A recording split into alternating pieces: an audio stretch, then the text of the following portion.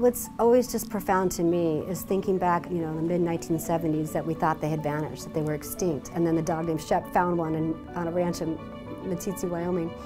Now we have 400 in the wild, so we've come a long way with ferret recovery. We have way more work to do. As the senior representative for the Plains program of defenders, um, I've been really fortunate to work with black-footed ferrets as the endangered species. I also work on bison, swift fox, and prairie dog habitat for ferret recovery.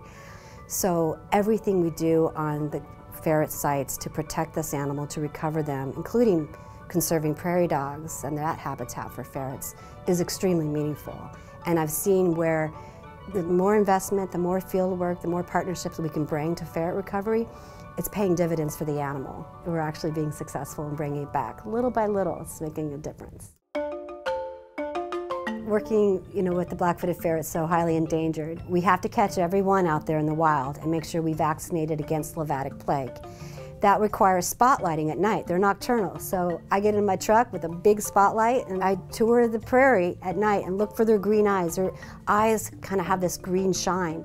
And then I track that animal to a certain burrow and then I'm able to jump out of my truck, put a trap right in that burrow, come back an hour or so later, I use my GPS, and hopefully I'll have a ferret.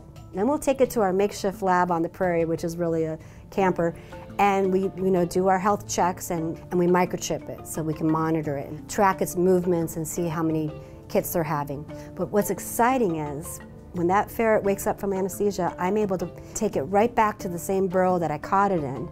And it sees that burrow and it looks up at me and it goes right down the burrow. I get this incredible relief that we've saved this animal, it's healthy, and it's going right back to its home. But if we didn't have the Endangered Species Act and those funds, we wouldn't have ferrets. And that's a key carnivore of our plains.